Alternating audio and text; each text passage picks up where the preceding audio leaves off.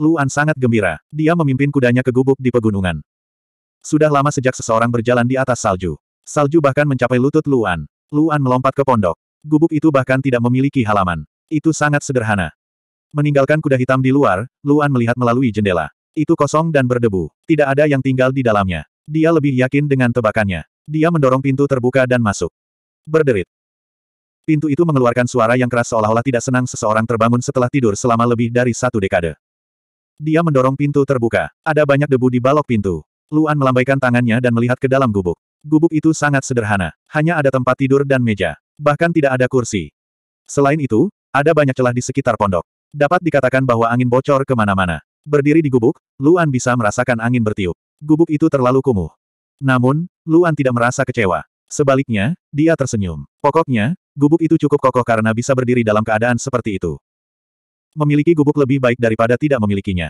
Selama dia bisa menemukan kayu untuk memperbaikinya, gubuk itu akan layak huni. Juga, ada jarak antara pondok dan yang lainnya. Akan lebih mudah baginya untuk berkultivasi. Mendorong pintu hingga terbuka, Luan menggunakan roda nasibnya untuk mendorong semua salju di depan pintu. Kemudian, ia mulai merenovasi gubuk tersebut. Pertama, dia menebang dua pohon untuk membangun pagar di sekitar gubuk. Kemudian, dia membuat kursi. Kemudian, dia memperbaiki gubuk itu dengan kayu yang tersisa. Setelah sepanjang pagi, semuanya sudah siap. Mengambil napas dalam-dalam, Luan melihat gubuknya dan tersenyum puas. Kuda hitam itu meringkik dan menendang-nendang di halaman. Sepertinya itu juga sangat bahagia. Mendengar kudanya meringkik, Luan teringat sesuatu. Dia menebang pohon lain untuk membangun kandang.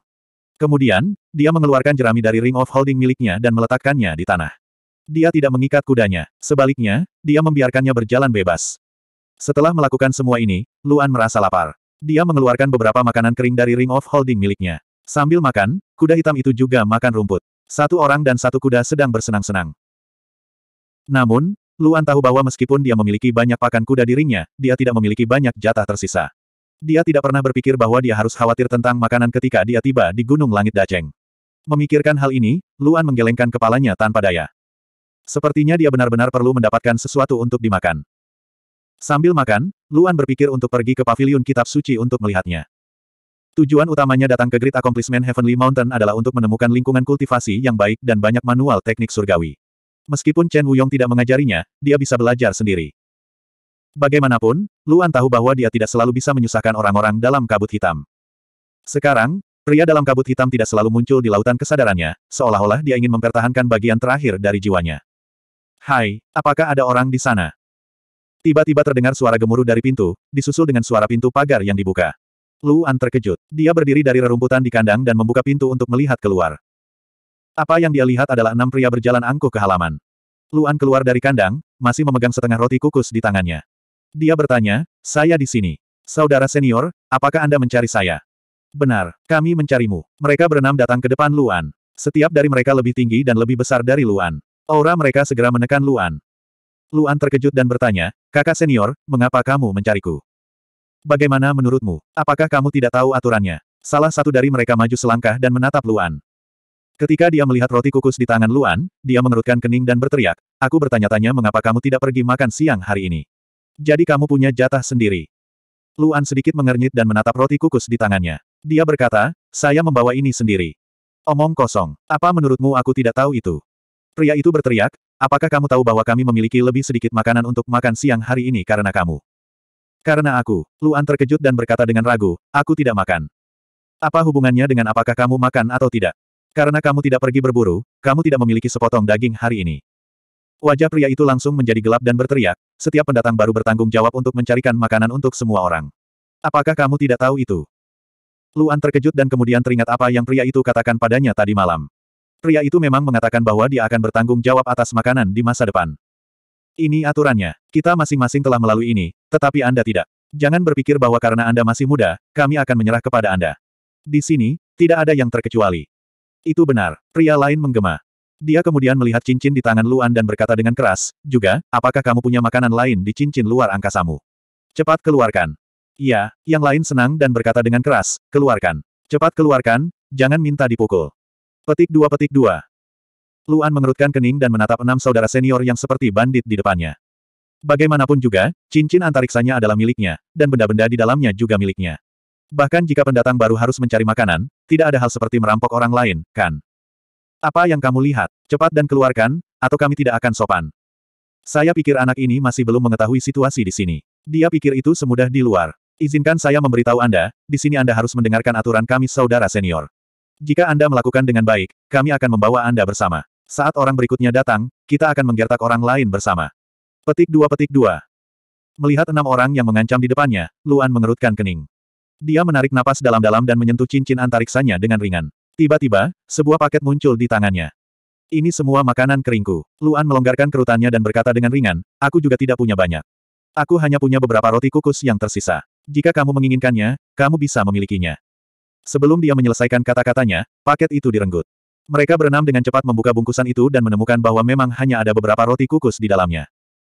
Nak, apakah kamu bermain denganku? Wajah pemimpin itu tenggelam. Dia memandang Luan dan berteriak, beberapa roti kukus yang rusak, apakah itu bisa dimakan? Luan mengerutkan kening dan berkata, aku hanya punya ini. Jika kalian kakak senior tidak menyukainya, kalian bisa mengembalikannya kepadaku. Setelah itu, Luan mengulurkan tangannya untuk meraih bungkusan itu. Namun, orang itu bereaksi lebih cepat dan langsung memasukkan bungkusan itu ke cincin luar angkasanya, membuat Luan ketinggalan. Namun, Nak, jangan coba-coba membodohiku dengan beberapa roti kukus. Orang itu mencibir dan berkata dengan keras, kamu ingin menyuruhku pergi hanya dengan beberapa roti kukus. Apakah kamu pikir aku pengemis? Cepat dan keluarkan barang-barang lain di cincin luar angkasa Anda untuk saya lihat. Luan mengerutkan kening dan berkata dengan suara yang dalam, benar-benar tidak ada lagi makanan. Apakah begitu? Orang itu mengangkat alisnya dan mencibir, bukan kamu yang memutuskan. Mengapa kamu tidak memberiku cincin luar angkasamu dan biarkan aku melihatnya sendiri? Mata Luan menyipit dan mengerutkan kening pada pihak lain. Menyerahkan cincin luar angkasa, ini adalah perampokan terang-terangan. Apa? Kamu tidak mau? Orang itu mencibir dan mengangkat tangannya untuk menggerakkan pergelangan tangannya dan berkata, saya melihat bahwa saudara junior Anda ini benar-benar tidak jujur. Sebagai saudara senior, jika kami tidak memberi Anda pelajaran, saya khawatir kami telah gagal dalam tugas kita. Setelah itu, orang lain juga tertawa, tetapi dalam prosesnya, mereka mengangkat tangan dan semburan energi asal surga muncul di sekitar tubuh mereka. Hati Luan tenggelam, orang-orang ini semuanya adalah Master Surgawi level 1. Yang di depannya berada di puncak, yang lain di tahap akhir, dan empat lainnya semuanya di tahap tengah. Dengan kekuatan seperti ini, jika dia tidak menggunakan api suci surga ke-9 dan alam dewa iblis, dia akan hancur. Melihat mereka berenam menggosok kepalan tangan dan menggosok telapak tangan, Luan tahu bahwa mereka sama sekali tidak bercanda.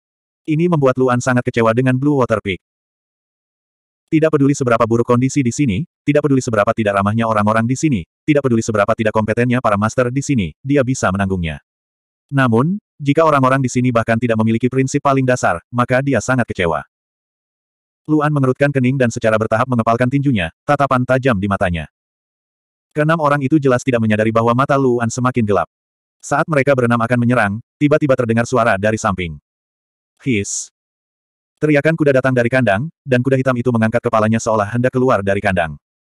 Luan terkejut, begitu pula keenam orang itu. Mereka semua menoleh untuk melihat kuda hitam itu, dan mata mereka tiba-tiba berbinar. Kuda, ini sebenarnya kuda. Salah satu dari mereka berteriak gembira, aku sudah lama tidak makan daging kuda. Daging kuda ini sangat keras, pasti sangat enak. Ini cukup. Selama kita menyembunyikan kuda ini, itu akan cukup untuk kita berenam makan sebentar. Pemimpin menoleh untuk melihat Luan dan berkata dengan keras, Nak, kami tidak akan memukulmu demi kuda ini. Kamu harus memberi kami makanan setiap hari mulai sekarang. Jika tidak, kami akan memukulimu setiap hari. Hari. Kemudian, Pemimpin itu melambaikan tangannya dan berkata kepada lima orang di belakangnya, adik laki-laki, ayo pergi dan tangkap kudanya. Dengan itu, mereka berenam berteriak serempak dan berlari menuju kandang. Mata mereka penuh keserakahan, seolah-olah mereka telah melihat hal yang paling enak di dunia. Namun, bang! Tiba-tiba, terdengar suara teredam, dan orang-orang yang tidak sempat berlari di depan merasakan kekuatan yang kuat menghantam mereka, menyebabkan mereka terhuyung-huyung dan hampir jatuh. Mereka dengan cepat berhenti dan melihat bahwa tubuh rekan mereka yang menabrak mereka. Rekan mereka benar-benar jatuh ke tanah dan pingsan. Mereka berlima buru-buru mengangkat kepala untuk melihat ke belakang, tapi mereka semua tercengang. Entah tersesat, Luan berkata dengan dingin dengan belati di tangannya, matanya penuh dengan niat membunuh, atau mati. 172. Mereka berlima tertegun. Melihat Luan yang pembunuh di depan mereka, mereka panik. Luan memang marah dan berniat membunuh. Beberapa saat yang lalu, dia masih bertanya-tanya apakah dia harus menyerahkan cincinnya. Lagi pula, selain pil, tidak ada yang penting di dalamnya. Dia tidak ingin menimbulkan masalah. Jika dia bertengkar dengan orang-orang ini, hari-harinya di masa depan akan sangat merepotkan. Namun, orang-orang ini ingin membunuh kudanya. Selama sebulan penuh, kuda hitam itu telah membantunya dalam perjalanannya, bekerja keras tanpa keluhan.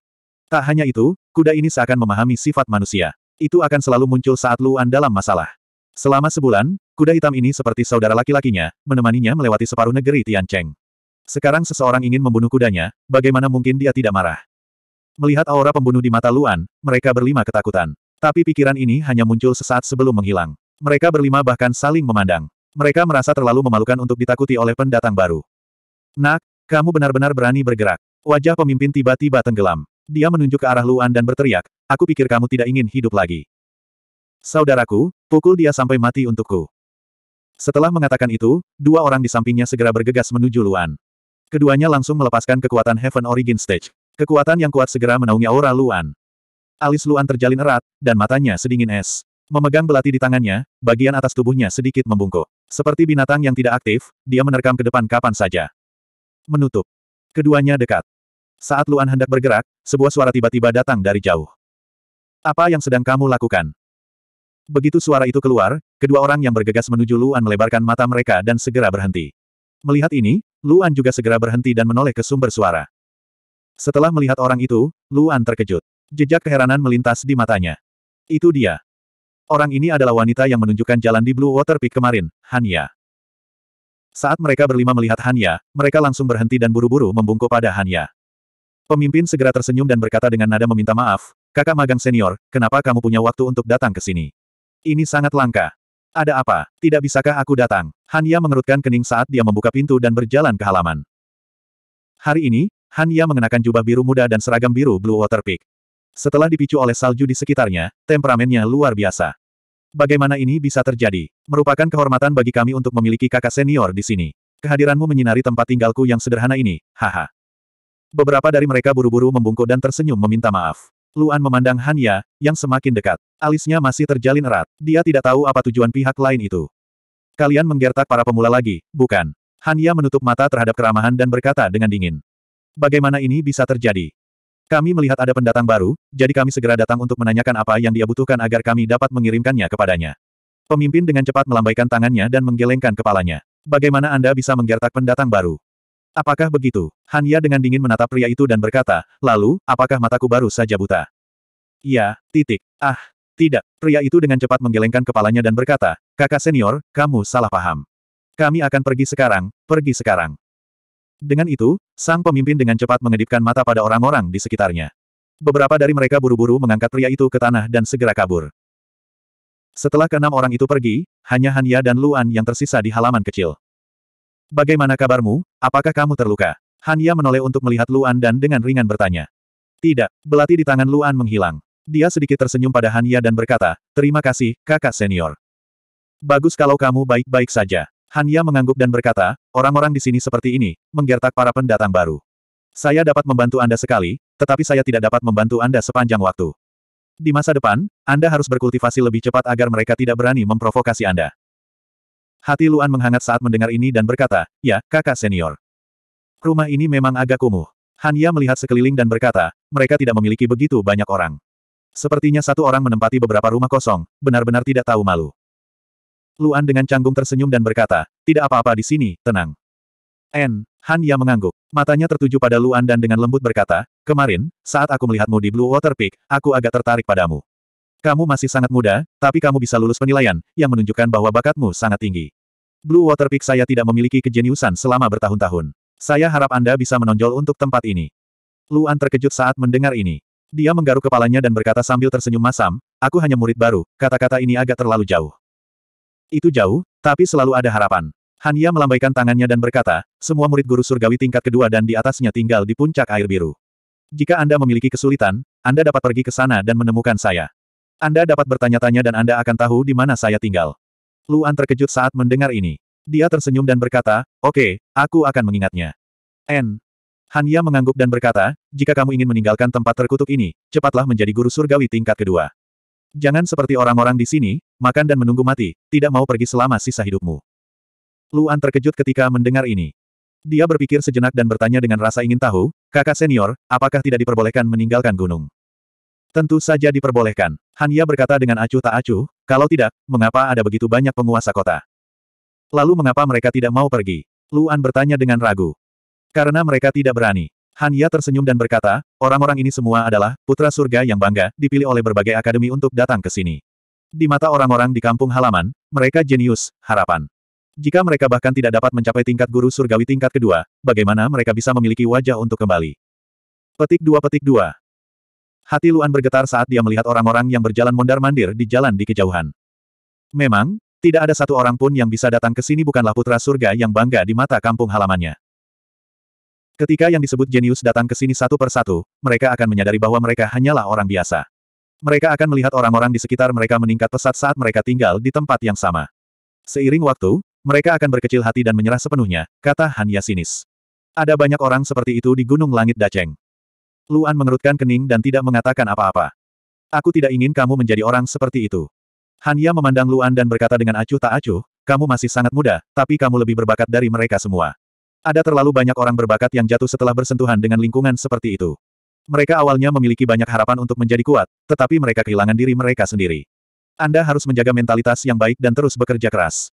Iya, kakak senior, aku akan mengingatnya. Luan mengangguk dengan penuh semangat dan berkata dengan suara yang dalam.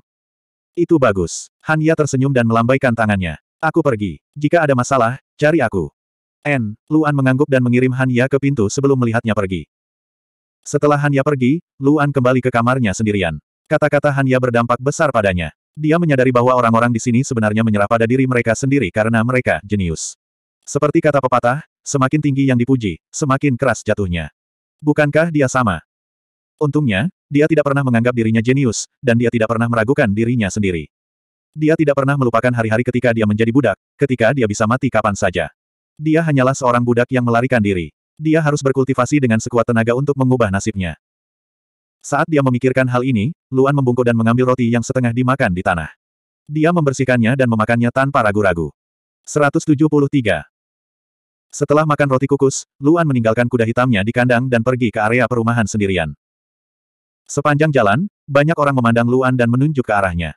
Luan tahu bahwa dia adalah pendatang baru dan akan membangkitkan rasa ingin tahu orang. Namun, dia tidak mengambil inisiatif untuk menyapa siapa pun dan langsung pergi ke penyimpanan sutra yang disebutkan Chen Wuyong. Nyatanya, hanya pintu penyimpanan sutra yang terbuka dan ada orang yang keluar masuk. Luan berjalan ke pintu dan membiarkan orang yang keluar terlebih dahulu sebelum masuk. Memasuki pintu, hal pertama yang terlihat adalah enam rak buku rapi yang mengelilingi dinding. Setiap rak buku dipenuhi buku, yang membuat mata Luan berbinar. Dia tidak punya pilihan. Situasi puncak air biru dan kemalasan di sini telah membuatnya kehilangan semua harapan. Dia bahkan berpikir bahwa penyimpanan sutra hanya memiliki beberapa buku. Dia tidak menyangka akan ada begitu banyak buku. Selama ada buku, bahkan jika seorang master tidak mengajarinya, dia masih bisa belajar sendiri. Luan sangat gembira dan bergegas masuk ke kamar. Saat ini, rak buku dipenuhi orang dan tidak ada ruang baginya untuk masuk. Meskipun Luan tahu bahwa rak buku itu mungkin memiliki seni surga yang bagus, dia tidak terburu-buru dan pergi ke rak buku yang kosong. Dia berdiri di depan rak buku yang jauh lebih tinggi darinya. Rak buku ini berbeda dari lima rak lainnya. Buku-buku itu tertutup debu dan lapisan debu yang tebal berarti tidak ada yang menyentuhnya untuk waktu yang lama. Luan melihat sekeliling dan melihat bahwa rak buku ini adalah satu-satunya yang tidak diperebutkan oleh siapa pun untuk itu. Melihat rak buku di depannya, Luan tidak tahu buku mana yang bagus dan memilihnya secara acak. Buku ini tepat di depan Luan. Ketika dia mengeluarkannya, awan debu menghantamnya. Luan sedikit mengernyit dan mengibaskan debu sebelum melihat buku itu. Seni Air Kekaisaran. Luan terkejut dan langsung membuka halaman pertama. Halaman pertama adalah ikhtisar dari Imperial Water Arts dan mudah dimengerti. Efek dari Imperial Water Arts sangat sederhana. Setelah mempelajarinya, seseorang bisa berjalan di atas ombak. Seseorang bahkan dapat datang dan pergi dengan bebas di dalam air dan sangat meningkatkan waktu manusia dapat bertahan hidup di dalam air. Luan terkejut. Seni air kekaisaran ini adalah hal yang baik. Selama dia bisa mempelajari ini, dia akan bisa bertahan untuk beberapa saat bahkan jika dia terjebak di dalam air. Saat ini, seorang wanita berjalan melewati Luan. Melihat buku di tangan Luan, jejak sikap merendahkan muncul di matanya, dan dia berhenti di belakang Luan. Kamu benar-benar tahu cara memilih, kata wanita itu sinis. Kamu benar-benar memilih apa pun yang tidak berguna. Luan tertegun. Dia berbalik dan menatap wanita itu. Setelah berpikir sejenak, dia bertanya, kakak senior, tolong bimbing saya. Kamu cukup tulus memanggilku kakak senior. Aku akan meluangkan waktu untuk menjelaskannya padamu. Wanita itu melambaikan tangannya dan berkata, energi seseorang terbatas, dan jumlah seni surgawi yang dapat mereka pelajari juga terbatas. Seni surgawi hanya dapat dilepaskan saat dilatih ke tingkat tinggi, jadi saat memilih seni surgawi, Anda harus memprioritaskan yang kuat. Imperial Water Art ini sepertinya berguna, tapi sebenarnya sama sekali tidak berguna. Jadi bagaimana jika dia bisa berjalan di atas air? Jadi bagaimana jika dia bisa bergerak di air? Apalagi guru surgawi tingkat satu, bahkan guru surgawi tingkat dua tidak dapat membuat air terjun yang benar-benar dapat menjebak seseorang di dalamnya. Ucap wanita itu datar. Luan tercengang, tapi dia mengangguk. Wanita ini memang ada benarnya. Meskipun Master Surgawi level 1 dapat membuat air terjun, itu hanya digunakan untuk serangan. Bahkan Master Surgawi tingkat 2 tidak dapat menciptakan yang sebesar Jiang He. Namun, Luan sedikit mengernyit. Melihat Imperial Water Art di tangannya, dia masih merasa benda ini memiliki beberapa kegunaan. Belum lagi hal lain, hanya fakta bahwa dia tidak akan takut air setelah mempelajarinya sudah cukup untuk menarik minat Luan. Mendengar pemikiran ini, Luan tersenyum dan berkata dengan rasa terima kasih, terima kasih atas bimbinganmu, kakak senior. Hem, kakak senior mendengus dingin dan pergi tanpa berkata apa-apa lagi. Setelah kakak senior pergi, Luan tidak mengembalikan buku itu ke rak buku. Sebaliknya, dia menyimpannya di cincinnya dan melihat sekeliling rak buku. Dia sudah memutuskan untuk mengambil tiga buku kembali. Menurutnya, tiga buku sudah cukup. Dia tidak membutuhkan terlalu banyak karena orang dalam kabut hitam masih harus mengajarinya teknik rahasia. Keterampilan surgawi hanya untuk pertunjukan. Setelah melihat sekeliling, Luan berjingkat dan mengambil sebuah buku dari baris atas. Imperial Water Art sudah sangat tebal, tapi buku ini bahkan lebih tebal. Luan merasa semakin tebal buku itu, semakin kuat jadinya. Oleh karena itu, ia memilih buku ini. Kabut beku. Luan tertegun. Dia tidak menyangka bahwa dia akan sangat beruntung menemukan keahlian surgawi yang berhubungan dengan es dengan begitu cepat.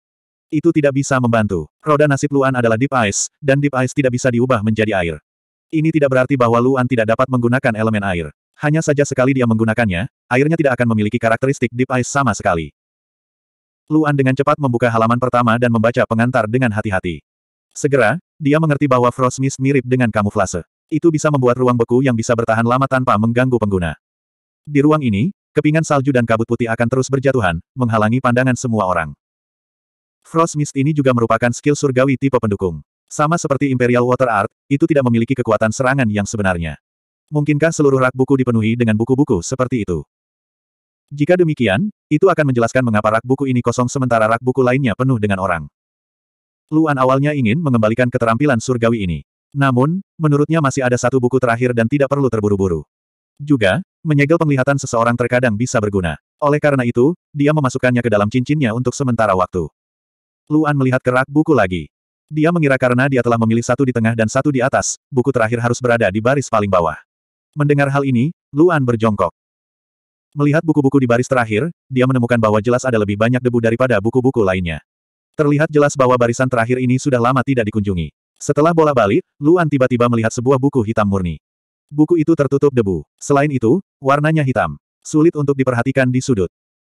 Setelah berpikir sejenak, Luan mengulurkan tangannya dan mengeluarkan buku itu. Setelah mengambil buku itu, Luan tertegun. Mengapa begitu berat? Luan melihat buku itu dengan bingung. Buku ini dua kali lebih berat dari buku yang paling tebal. Namun, yang sangat mengejutkan Luan adalah bahwa buku ini adalah yang tertipis yang pernah dia lihat. Buku ini sepertinya hanya memiliki beberapa halaman. Bahkan tidak ada satu inci pun dari awal hingga belakang. Luan melihat nama itu dengan rasa ingin tahu. Tari Pedang Es. Luan tertegun. Dia membalik ke halaman pertama. Ice Sword Dance ini akhirnya menjadi Heavenly Skill tipe ofensif. Meski hanya beberapa halaman, ada total enam gerakan. Di samping setiap gerakan ada penjelasan terperinci. Lebih penting lagi, ini adalah keterampilan surgawi kelas 2. Hati Luan bergetar. Fog of Frost adalah keterampilan surgawi tingkat pertama. Imperial Water Technique juga merupakan keterampilan surgawi tingkat pertama. Hanya Ice Sword Dance ini yang merupakan keterampilan surgawi kelas 2. Di Meteor Trail City, keterampilan surgawi kelas 2 adalah keberadaan yang tak ternilai harganya. Tetapi, Luan mengerutkan kening. Dia selalu menggunakan belati dan tidak ada hubungannya dengan pedang. Perbedaan antara senjata itu seperti langit dan bumi. Apakah itu gerakan atau konsepnya, itu sama sekali berbeda. Tidak ada cara untuk belajar darinya. Namun, Luan tidak mau menyerah pada belatinya. Melihat buku yang begitu bagus di depannya tetapi tidak dapat mempelajarinya, Luan hanya bisa menghela nafas. Dia meletakkan buku aslinya kembali ke posisi semula. Setelah melihat-lihat rak buku sebentar, akhirnya dia memilih buku terakhir. Itu adalah keterampilan surgawi tingkat pertama yang paling dasar Reign of Ichicles. Seperti namanya, keterampilan surgawi ini adalah hujan es tajam yang jatuh dari langit.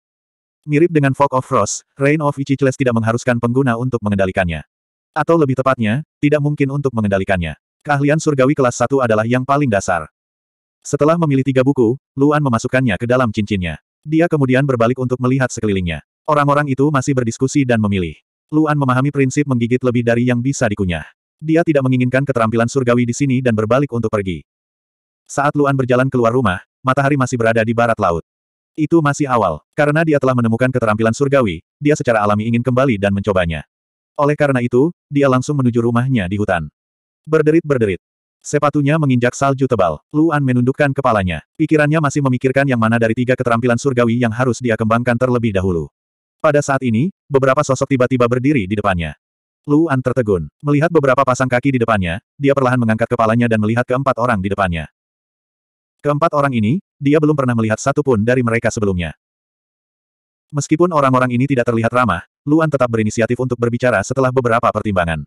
Dia dengan sopan bertanya, Lansia, bolehkah saya bertanya ada apa? Kamu pendatang baru, kan? Salah satu dari mereka maju selangkah dan menatap Luan. Dia mencibir dan berkata, para seniormu ini tidak seberapa. Mereka hanya mendengar bahwa kamu tidak mengikuti aturan dan ada di sini untuk memberimu pelajaran. 174. Kepingan salju tiba-tiba mulai berjatuhan dari langit. Kepingan salju jatuh di rambut dan tubuh orang, tapi tidak ada yang peduli. Itu normal untuk turun salju di musim dingin, termasuk empat orang yang tiba-tiba merasa udaranya tampak lebih dingin, tetapi mereka tidak peduli. Mereka hanya melihat pemuda di depan mereka mengerutkan kening, meski tidak terlihat marah, setidaknya ada sedikit emosi. Luan mengerutkan kening, rasa hormat yang baru saja dia miliki benar-benar menghilang, wajahnya menjadi tenang dan acuh tak acuh, dan dia bertanya dengan ringan, aturan apa yang aku langgar? Aturan apa? Hari ini saudara laki-laki ketiga saya membawa orang untuk menemukan Anda, apakah Anda lupa mengapa? Pemimpin mencibir dan berkata, jangan berpikir bahwa kamu dapat melakukan apa pun yang kamu inginkan dengan dukungan Hanya, ini bukan puncak air biru, apakah kamu mengerti? Luan semakin mengernyit, ternyata keempat orang ini bersekongkol dengan tiga orang dari sore hari. Memikirkan hal ini, mata Luan menjadi semakin dingin. Jika orang lain yang menggertaknya, dia bisa menahannya, tetapi ketiga orang itu ingin membunuh kudanya, dia tidak akan pernah melepaskannya. Seorang pendatang baru harus bertindak seperti pendatang baru. Pemimpin itu sepertinya tidak melihat mata Luan yang semakin dingin, dan dengan keras mengancam, setiap pendatang baru di sini bertanggung jawab untuk mencari makanan, tidak terkecuali. Dengan itu, mata pemimpin tiba-tiba membeku, dan dia menoleh untuk melihat ke kejauhan, dan berkata sambil tersenyum, apakah kamu melihat orang itu? Orang itu datang ke sini setahun yang lalu, dan dia masih bekerja sekarang. Luan terkejut, dan menoleh untuk melihat, tentu saja, dia melihat seorang lelaki kurus membawa dua keranjang sayuran liar berjalan kembali. Dia tidak bisa menahan cemberut, apakah memang ada aturan seperti itu di sini? Bagaimana, nak, apakah kamu ingin patuh mengikuti aturan, atau kamu ingin dipukuli sebelum mengikuti aturan, pikirkan sendiri. Pemimpin mencibir, tapi aku tidak punya kesabaran, jika tinjuku bergerak di depan mulutmu, kamu tidak akan memiliki kesempatan untuk memohon belas kasihan. Petik dua petik dua. Mendengarkan kata-kata orang ini, alis Luan tiba-tiba mengendur, dan dia menatap orang ini, dan bertanya dengan acuh tak acuh, jika saya mengikuti aturan, Anda tidak akan mengganggu saya lagi. Melihat perubahan sikap Luan yang tiba-tiba, orang ini terkejut, lalu dia tertawa dan berkata, tentu saja, apakah menurutmu aku cukup bosan untuk datang dan bermain denganmu? Bagaimana dengan kudaku? Luan bertanya dengan dingin, aku ingin semua orang tidak menyentuh kudaku, bisakah kamu menjamin itu? Pria itu terkejut lagi, dan berkata sambil tersenyum, kudengar kamu punya kuda. Selama Anda memberi kami cukup makanan setiap hari, kami tentu saja tidak akan tahu tentang kuda Anda, mengerti? Bukan itu yang ingin aku dengar. Nada suara Luan tiba-tiba berubah. Matanya sangat dingin saat dia mengucapkan kata demi kata, jangan sentuh kudaku, atau aku akan membunuhmu. Mereka tidak tahu mengapa, tetapi ketika mendengar kalimat ini, mereka berempat merasakan hawa dingin yang menusuk tulang. Mereka hanya bisa bergidik. Melihat mata pembunuh pemuda itu, mereka tidak tahu mengapa tetapi tiba-tiba mereka merasa bahwa pemuda ini tidak bercanda. Pemimpin itu terkejut, dia terbatuk dan berkata, jika kamu membunuh seseorang di Gunung Langit Daceng, kamu harus membayar dengan nyawamu. Aku tidak percaya kamu berani melakukannya demi seekor kuda. Lalu mengapa kamu tidak mencoba? Luan berkata dengan dingin. Petik dua petik dua. Orang ini memandang Luan, dan untuk beberapa alasan, semua kata-kata jahatnya tersangkut di tenggorokannya, dan dia tidak dapat mengucapkan sepatah kata pun. Keduanya saling menatap selama beberapa saat sebelum orang ini menarik napas dalam-dalam dan berteriak, bagus. Selama Anda dapat mengambil cukup barang, tidak ada yang akan menemukan masalah dengan Anda. Jika Anda tidak dapat mengeluarkannya, karena Anda ingin melindungi kuda Anda, berhati-hatilah agar Anda tidak menderita. Dengan itu, pria itu melambaikan tangannya dan berkata kepada tiga orang di belakangnya, ayo pergi. Mereka berempat pergi, masing-masing menatap tajam ke arah Luan sebelum pergi. Bahkan setelah mereka berempat pergi, Luan masih berdiri di sana dengan wajah cemberut. Di dunia ini, tidak ada yang namanya keadilan. Ketika dia menjadi budak, dia berpikir bahwa selama dia menjadi orang biasa, dia akan bisa mendapatkan keadilan. Setelah Meteor Trail City, dia berpikir bahwa memasuki akademi akan adil. Setelah memasuki akademi, dia berpikir bahwa memasuki pavilion tengah malam akan adil. Sekarang, dia tahu bahwa itu semua bohong. Di dunia ini, tidak ada yang namanya keadilan, hanya kekuatan. Siapa pun yang tinjunya lebih besar akan memiliki alasan, siapa pun yang tinjunya lebih besar akan dapat menuai tanpa menabur. Mengambil napas dalam-dalam, Luan menutup matanya dan menenangkan dirinya. Dia tidak marah, atau lebih tepatnya, hal semacam ini tidak bisa membangkitkan amarahnya. Dia tahu bahwa jika dia menolak saat ini, tidak hanya akan sulit baginya untuk bergerak maju di gunung langit pencapaian besar, dia juga akan melibatkan kuda hitam itu. Dia bisa bertahan, daya tahannya sangat kuat. Itu hanya mencari makanan, itu bukan masalah besar. Memikirkan hal ini, Luan membuka matanya lagi. Matanya jernih dan cerah, dan dia berjalan kembali ke rumahnya seolah-olah tidak terjadi apa-apa. Sekali lagi, dia melewati gerbang bersalju dan memasuki halaman. Luan memberi makan kuda itu makanan dan kembali ke rumahnya. Dia mengeluarkan tiga teknik surgawi dari cincinnya dan meletakkannya di atas meja. Duduk, Luan menatap mereka dengan serius. Seni mengemudi air, kabut beku, hujan es. Tiga buku, tiga teknik surgawi tingkat satu yang paling biasa. Terutama, Reign of Ichicles, dia pernah mendengarnya ketika dia berada di Starfire Academy. Dia ingin mengolah ketiga buku tersebut, tetapi setelah memikirkannya, dia mengambil Reign of Ichicles terlebih dahulu. Ini adalah satu-satunya teknik surgawi di antara ketiganya yang memiliki kekuatan ofensif. Dia saat ini kekurangan metode ofensif, dan Reign of Ichicles bisa menebusnya. Memikirkan hal ini, Luan mengembalikan dua buku lainnya ke dalam ringnya dan fokus membaca. Waktu berlalu, dan langit berangsur-angsur menjadi gelap. Saat Luan mendongak lagi, bulan sudah terbit. Di luar gelap gulita, dan hanya rumah-rumah yang memiliki sedikit cahaya. Rain of Ichicles bukanlah teknik surgawi yang sulit, terutama jika dibandingkan dengan Scorching Sun Nine Suns milik Luan. Dalam waktu empat jam yang singkat, Luan sudah mempelajari sebagian besar darinya. Dia pada dasarnya telah memahaminya, dan hanya perlu mempraktikannya. Menutup buku itu, Luan mengembalikan Rain of Ichicles ke dalam cincinnya dan bangkit. Dia tahu bahwa sudah waktunya baginya untuk pergi berburu. Mengambil napas ringan, Luan mengerutkan kening dan bangkit untuk berjalan ke pintu. Saat itu, sebuah suara datang dari halaman. Hai, apakah ada orang di sini? Luan tercengang dan mengerutkan kening. Selain Hanya, dia tidak menemukan sesuatu yang baik hari ini. Mungkinkah sekelompok orang itu datang untuk mencari masalah dengannya lagi? Membuka pintu, dia melihat enam orang berdiri di halaman, melihat ke kiri dan ke kanan. Ketika mereka melihat Luan, mereka semua memandangnya. Luan juga memandang ke enam orang itu, mengerutkan kening dan mengepalkan tinjunya. Kemarahan meningkat di matanya. Meskipun dia tidak mengenal orang-orang ini, mereka mungkin ada di sini untuk mencari masalah dengannya. Dia sudah memberi banyak. Orang-orang ini terlalu banyak. Kamu Luan. Salah satu dari mereka keluar dan memandangnya dari atas ke bawah. Dia mengerutkan kening dan berkata, mengapa kamu begitu muda? Berapa banyak kekuatan yang kamu miliki untuk berburu? Luan tertegun. Baru pada saat itulah dia menyadari bahwa orang-orang ini memegang beberapa klip dan tali di tangan mereka. Itu sangat aneh. Kakak senior, mengapa kamu mencariku? Luan menurunkan permusuhannya dan bertanya dengan rasa ingin tahu. Apalagi itu, mengapa kami ingin mengobrol denganmu? Tentu saja, kita akan berburu bersama. Pria itu mendengus dan berkata, kalau tidak, apakah kamu pikir kamu bisa berburu sendiri untuk makanan senilai 30 orang? Apa? Luan tercengang dan menatap orang-orang ini dengan kaget. Ternyata dia bukan satu-satunya yang harus pergi berburu, tapi ada begitu banyak orang. Nak, jangan berpikir bahwa kamu bisa melakukan lebih sedikit hanya karena kamu masih muda. Jika kamu tidak cukup menangkap, kamu akan bekerja untukku di hutan sepanjang malam. Pemimpin itu melambaikan tangannya dan berkata, cepat dan ikuti kami. Ayo pergi sekarang. Setelah itu, keenam orang itu berbalik dan pergi. Luan mengerutkan kening dan menutup pintu. Dia segera mengikuti mereka. Tujuh dari mereka memasuki hutan di malam hari. Luan tidak pernah menyangka bahwa tugas pertamanya setelah memasuki Gunung Langit Daceng akan dimulai seperti ini. 175.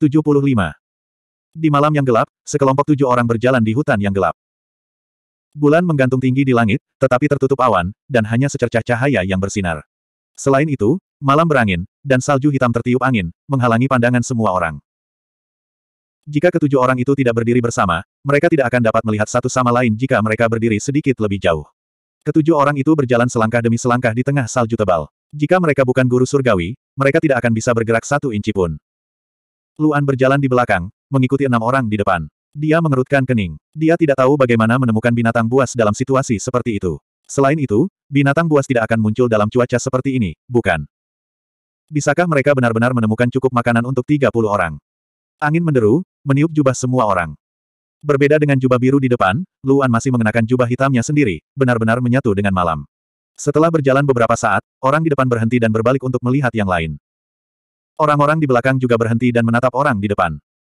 Orang ini bernama Liu Hongchang, seorang murid yang memasuki puncak air biru dua tahun lalu. Sampai sekarang, dia masih mencari makanan untuk yang lain. Tentu saja, itu bukan karena dia ingin, tapi karena orang-orang yang memintanya. Namun, karena dia yang paling senior dan paling senior, dia tentu saja menjadi pemimpin dalam tim berburu ini. Semua orang memandangnya, menunggunya memberi perintah.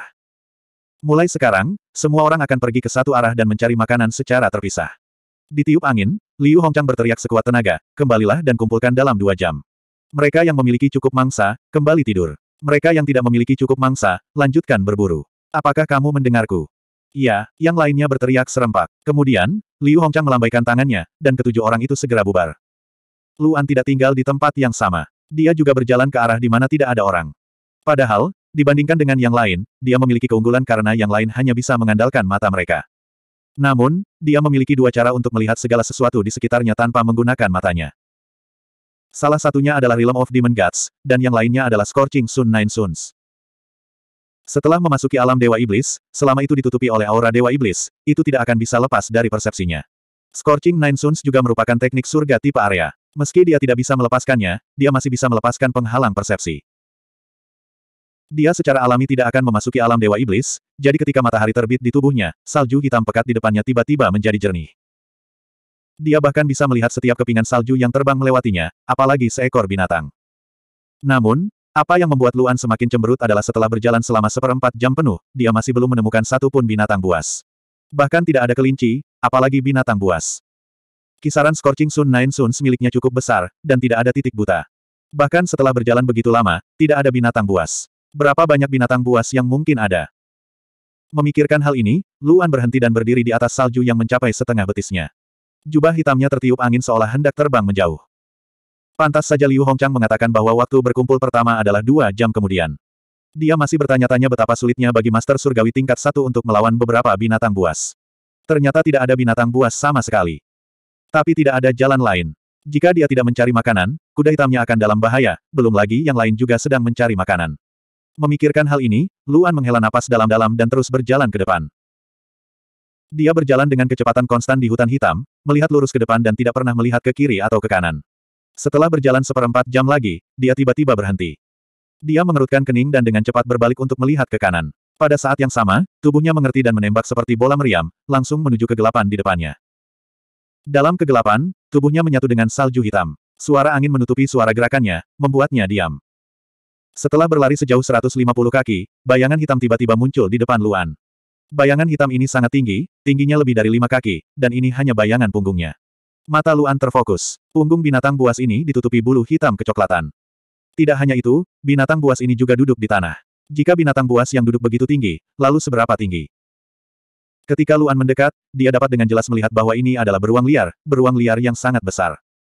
Di depan beruang liar ini adalah bangkai rusa sika. Perut rusa sika telah dibelah, dan beruang liar memakan daging berdarah itu gigitan demi gigitan.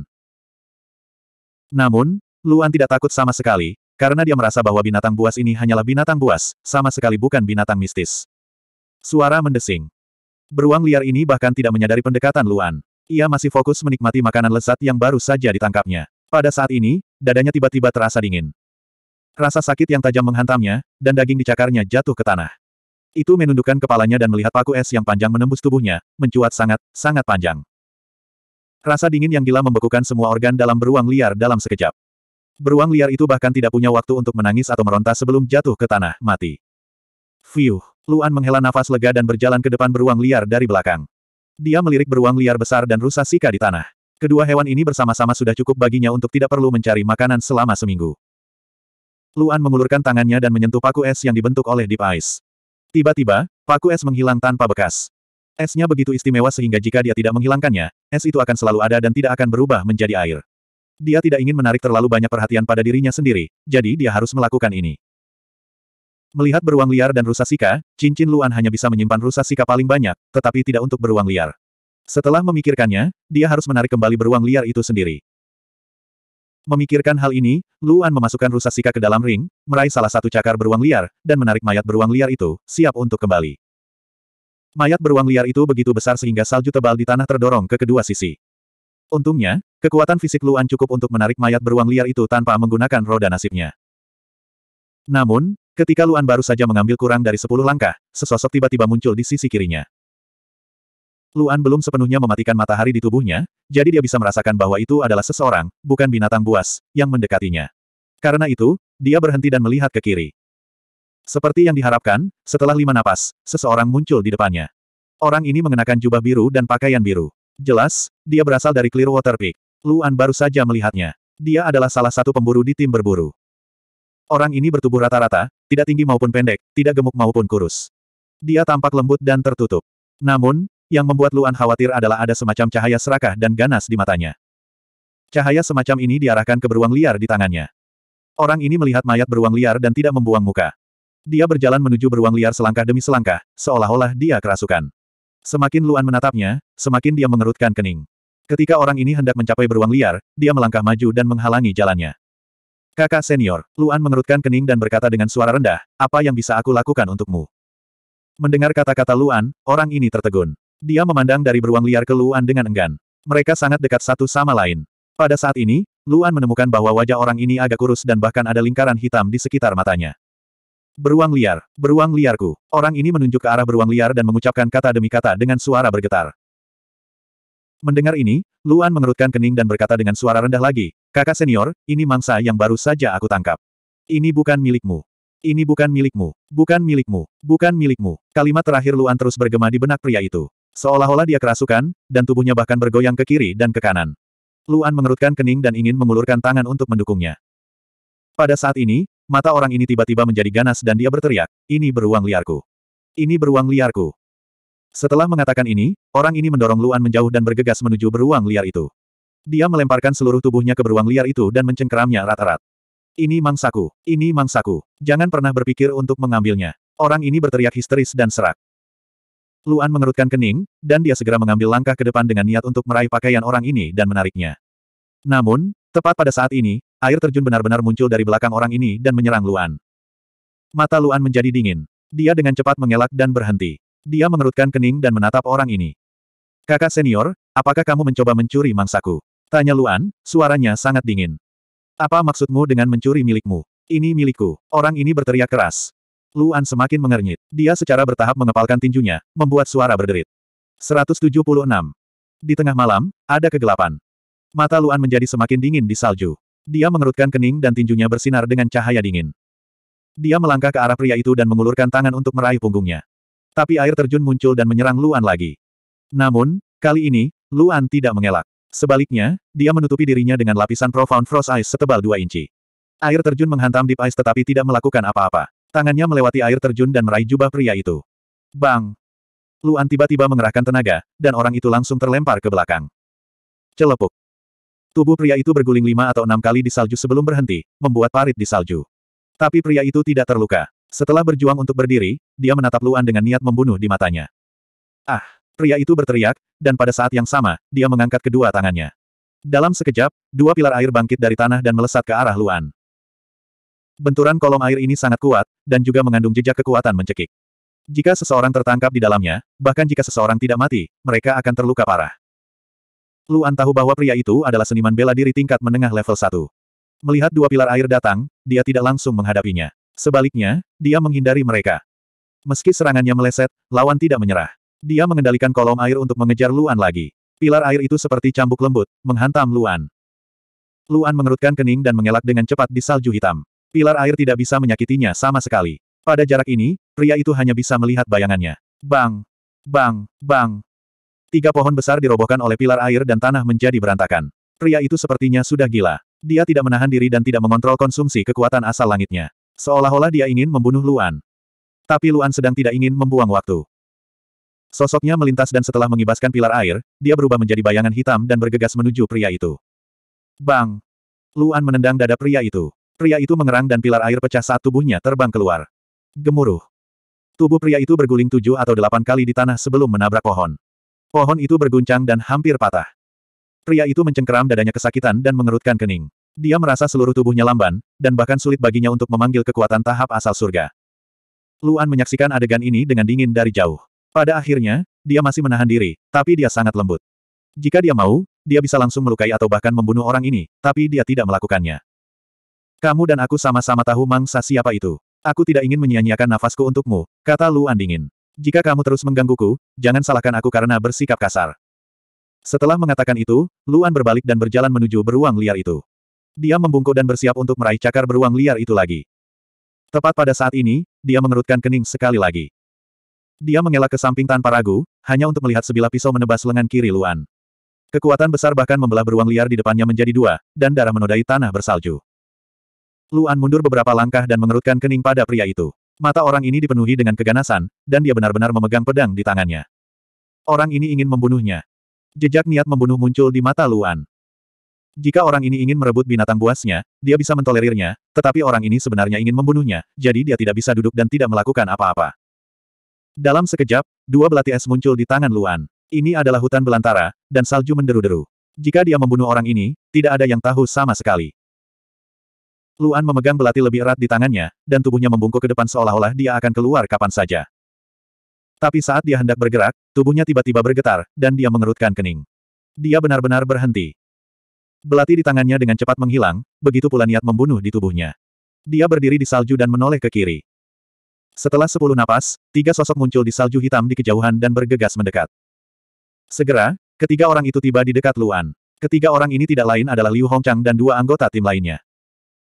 Setelah Liu Hongchang tiba, dia melihat sekeliling kekacauan itu dan mengerutkan kening. Dia memandang kedua orang itu dan berteriak, apa yang terjadi? Luan hendak berbicara, tetapi orang yang berdiri di sebelah beruang liar itu lebih cepat darinya. Dia buru-buru berteriak, kakak Liu, orang ini ingin merebut mangsaku. Apa? Ekspresi Liu Hongchang sangat berubah. Dia menoleh untuk melihat Luan, dan matanya dipenuhi dengan niat membunuh. Dia berteriak, kamu berani merebut mangsa orang lain. Tidak. Luan mengerutkan kening dan segera berkata, beruang liar ini adalah mangsaku, dan dia datang untuk merebutnya dariku. Mendengar kata-kata Luan, Liu Hongchang mengerutkan kening lagi. Dia memandang orang lain dan bertanya dengan dingin, apakah yang dia katakan benar? Bagaimana bisa? Dia berbicara omong kosong. Orang itu buru-buru berteriak seolah-olah dia telah dianiaya. Kakak Liu, apakah kamu tidak tahu orang seperti apa aku ini? Bagaimana aku bisa melakukan sesuatu seperti merebut barang orang lain? Mendengar kata-kata orang ini, kerutan Liu Hongchang semakin dalam. Memang orang ini biasanya baik dan tidak pernah berkonflik dengan orang lain. Bagaimana dia bisa merebut mangsa orang lain tanpa alasan? Memikirkan hal ini, Liu Hongchang memandang Luan dan berkata dengan wajah muram, Nak, kamu merebut mangsa orang lain dan berani memfitnah orang lain. Kamu mau mati. Luan mengerutkan kening dan secara bertahap mengepalkan tinjunya, tetapi dia tidak cemas. Dia hanya berkata dengan dingin, jika dia memburu mangsa ini, biarkan dia mengatakan di mana mangsanya diburu dan di mana lukanya. Jika dia bisa mengatakannya, saya tidak punya apa-apa untuk dikatakan. Liu Hongchang tertegun. Dia tidak menyangka Luan mengatakan hal seperti itu. Hanya orang yang memiliki bukti nyata yang berani mengatakan kata-kata seperti itu. Apakah itu benar-benar bukan bocah ini? Memutar kepalanya, Liu Hongchang menatap orang lain dan bertanya dengan lantang, pertanyaannya, beritahu aku. Wajah pria itu panik, dan dia tiba-tiba tergagap dan tidak bisa berkata apa-apa. Namun setelah dua tarikan nafas, matanya tiba-tiba menyipit dan dia buru-buru berkata, beruang liar ini ditemukan di barat laut. Lukanya, lukanya ada di tengah. Omong kosong. Wajah Luan menjadi gelap dan dia segera berkata, beruang liar ini ada di barat laut, tapi aku menyeretnya ke arah itu. Dan potongan itu adalah saat Anda baru saja menyambarnya. Luka yang sebenarnya ada di hati, dari belakang hati sampai ke tubuh. Juga, ketika saya menemukan beruang liar ini, ia sedang memakan rusa sika. Rusa sika itu ada di dalam cincin saya. Ketika saya pergi ke sana, beruang liar itu sudah makan beberapa suap. Saya yakin di mulut atau perutnya, Anda akan menemukan daging rusa sika. Saat kata-kata Luan keluar, tiba-tiba semua orang tercengang. Wajah Liu Hongchang penuh keheranan. Tidak ada cara lain, bocah ini terlalu detail. Dia melangkah ke depan beruang liar dan menemukan luka tersembunyi di jantungnya di bawah surainya. Luka ini menembus jantung dan sulit ditemukan kecuali dengan sengaja mencarinya. Apalagi luka ini pasti buatan manusia. Kemudian, meskipun Liu Hongchang tidak menemukan daging di mulut beruang liar, dia menemukan sepotong besar daging di perutnya. Ketika Luan mengeluarkan rusa sika dari ring, Liu Hongchang mengerutkan kening. Ternyata beruang liar ini memang milik Luan. Wajah Liu Hongchang berubah dan dia segera menoleh untuk melihat orang lain. Di mata orang lain, Liu Hongchang meraung, kamu tidak hanya merebut mangsa orang lain, tetapi juga orang jahat yang mengeluh lebih dulu. Apakah kamu ingin mati? Raungan itu sangat menakutkan pria itu sehingga dia tiba-tiba duduk di tanah dan gemetar di sekujur tubuhnya. Ketakutan tertulis di seluruh wajahnya. Dia tahu apa yang akan dia hadapi. Dalam tim berburu, merebut mangsa orang lain adalah hal yang paling tidak bisa ditolerir. Ini menyentuh garis bawah semua orang. Tidak hanya Liu Hongchang, tetapi juga dua orang lainnya menunjukkan kemarahan. Aku, aku. Kamu apa? Liu Hongchang meraung, saya akan memberitahu semua orang tentang Anda dan memberitahu mereka orang seperti apa Anda. Saya juga akan memberitahu tuan saya dan membiarkan dia mengeluarkan Anda dari sekte. Ketika kata-kata, keluarkan kamu dari sekte, keluar, pria itu tiba-tiba membuka mulut dan matanya lebar-lebar seolah ingin mati. Jangan, kakak senior. Pria itu tiba-tiba menangis dan air mata menutupi wajahnya. Dia berlutut di depan Liu Hongchang, meraih celananya dan berteriak, saya mohon, kakak senior, selama Anda melepaskan saya kali ini, saya bersedia menjadi sapi atau kuda selama sisa hidup saya.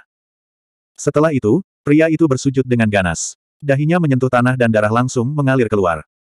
Namun, Liu Hongchang tidak mempercayai kata-katanya sama sekali. Pergilah. Liu Hongchang menendang pria itu ke tanah dan menunjuk ke hidungnya dan berteriak, sudah kubilang, Chen Wen, kamu sudah selesai kali ini. Ayo pergi. Liu Hongchang melambaikan tangannya dan berbalik untuk pergi dengan marah. Tapi saat ini, sebuah suara tiba-tiba datang dari belakangnya. Tunggu. Ketiga orang itu berhenti di jalurnya dan berbalik untuk melihat Luan, yang masih berada di tempat yang sama. Luan sedikit mengernyit dan mengalihkan pandangannya dari pria di tanah ke Liu Hongchang. Dia berkata dengan suara rendah, kakak senior, tolong biarkan dia pergi. 177. Tiba-tiba, embusan angin bertiup, menyebabkan Liu Hongchang menggigil. Apa katamu? Liu Hongchang memandang Luan dengan tak percaya. Matanya membelalak kaget ketika dia bertanya, katakan itu lagi. Bukan hanya dia, tapi dua lainnya juga menatap Luan dengan heran. Yang paling terkejut adalah Chen Wen, yang ditendang ke tanah. Mata putus asa Chen Wen tiba-tiba dipenuhi dengan harapan, dan dia dengan cepat mengangkat kepalanya untuk melihat Luan seolah-olah dia telah menemukan sedotan penyelamat. Dia berlutut dengan sekuat tenaga dan merangkak ke kaki Luan sebelum menangis dan memohon. Selamatkan aku, selamatkan aku. Luan memandang Chen Wen di kakinya dan mengerutkan kening. Luan, apakah kamu benar-benar tidak akan melanjutkan masalah ini? Liu Hongchang berteriak dengan dingin, meskipun kamu dapat menghindari kesalahan dengan tidak mengejar masalah ini, kamu harus tahu bahwa ini bukan masalah sepele. Mendengar kata-kata Liu Hongchang, Luan tidak mendongak. Sebaliknya, dia memandang Chen Wen yang berlutut di depannya dan bertanya dengan cemberut, di mana kamu tinggal? Rumah. Chen Wen, yang sedang berlutut di tanah, tercengang dan menatap Luan dengan bingung. Dia tidak tahu apa yang diminta pihak lain. Aku bertanya dari mana asalmu, siapa nama ayahmu, dan apa pekerjaannya. Suara Luan terdengar dingin saat dia bertanya lagi. Chen Wen gemetar. Meskipun dia tidak tahu apa yang diinginkan pihak lain, dia tidak berani untuk tidak menjawab saat ini. Dia dengan cepat berkata, saya dari kota Qingbei. Ayah saya bernama Chen Diyuan. Dia bertanggung jawab atas agen pendamping. Luan semakin mengernyit saat mendengar ini. Pada akhirnya, dia menarik napas dalam-dalam dan sedikit kekecewaan muncul di matanya. Kekecewaan ini membuat tubuh Chen Wen bergetar dan dia tidak bisa berkata apa-apa. Namun, Luan tidak menunda. Dia menatap Liu Hongchang dan berkata dengan kepalan tangan memberi hormat, Liu Senior, saya tidak akan melanjutkan masalah ini. Mohon maafkan dia kali ini. Liu Hongchang mengerutkan kening dan memandang Luan dengan curiga, tetapi pada akhirnya, dia menggelengkan kepalanya dan berkata, kamu adalah orang yang terlibat. Jika kamu tidak mengejar masalah ini, aku juga tidak akan mengejarnya. Tetapi jika anak ini jatuh ke tangan orang lain di masa depan, jangan salahkan saya karena tidak sopan. Tidak mungkin, tidak mungkin. Aku tidak akan berani melakukannya lagi. Chen Wen segera berlutut di depan Liu Hongchang dan berkata dengan cepat. Huff. Melihat penampilan pengecut Chen Wen, Liu Hongchang teringat bagaimana dia memfitnahnya sebelumnya. Dia mendengus dingin dan pergi bersama anak buahnya. Setelah kelompok tiga orang Liu Hongchang pergi, Chen Wen jatuh tersungkur di tanah. Di udara dingin, dia berkeringat deras, dan bahkan bajunya basah kuyup. Setelah duduk beberapa saat, Chen Wen Chai tiba-tiba teringat sesuatu. Dia dengan cepat bangkit dan melihat Luan di belakangnya sebelum dengan cepat berterima kasih padanya, terima kasih telah menyelamatkan hidupku. Bukan aku yang menyelamatkan hidupmu. Alis Luan mengendur, dan ekspresinya dingin saat dia berkata, ayahmu yang menyelamatkan hidupmu. Apa? Chen Wen tertegun. Matanya melebar saat dia menatap Luan dengan bingung.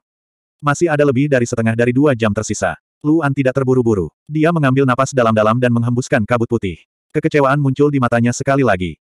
Sebulan yang lalu, saya melewati Green North City. Luan berkata dengan lemah, aku pergi ke agen pengawal Senwei dan bertemu ayahmu sekali. Kuda hitamku diberikan kepadaku oleh ayahmu. Tubuh Chen Wen bergetar hebat. Matanya melebar saat dia menatap Luan dengan tak percaya. Itu benar, orang di depannya adalah anak dari master pertama Senwei Escort Agency. Dia juga orang yang diminta oleh tuan pertama untuk dia urus sebelum pergi. Guru pertama telah memberitahunya bahwa putranya sangat pemalu sejak dia masih muda. Dia tidak keluar sama sekali dan jujur dan akan mudah diintimidasi.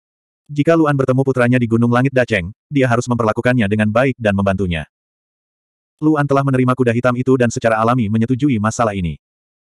Namun, dia tidak pernah berpikir bahwa putra, introvert, dan, jujur, yang disebutkan oleh tuan pertama sebenarnya adalah pencuri yang mencuri barang-barangnya di tengah malam. Luan mencibir memikirkan wajah putranya barusan. Tampaknya tuan pertama harus mengevaluasi kembali putranya. Luan tidak ingin mengatakan apa-apa lagi. Dia berkata dengan lemah, ayahmu memberiku kuda hitam, jadi aku tidak melanjutkan masalah ini. Kita bahkan sekarang, ayahmu telah memintaku untuk menjagamu, tapi aku tidak tertarik berteman dengan orang sepertimu. Kemudian, Luan berjalan ke depan menuju bangkai beruang liar itu. Dia mengambil setengah dari bangkai dan berkata, separuh lainnya untukmu. Anggap saja sebagai pembayaran terakhirku. Setelah mengatakan itu, Luan berjalan maju dengan setengah dari bangkai beruang liar di tangannya. Namun, dia baru mengambil beberapa langkah ketika dia tiba-tiba mendengar suara gedebuk dari belakangnya. Luan mengerutkan kening dan melihat ke belakang. Dia melihat bahwa Chen Wen sedang berlutut di tanah lagi. Wajah Chen Wen berlinang air mata dan tubuhnya gemetar. Dia menangis dengan keras, kakak Lu, aku salah.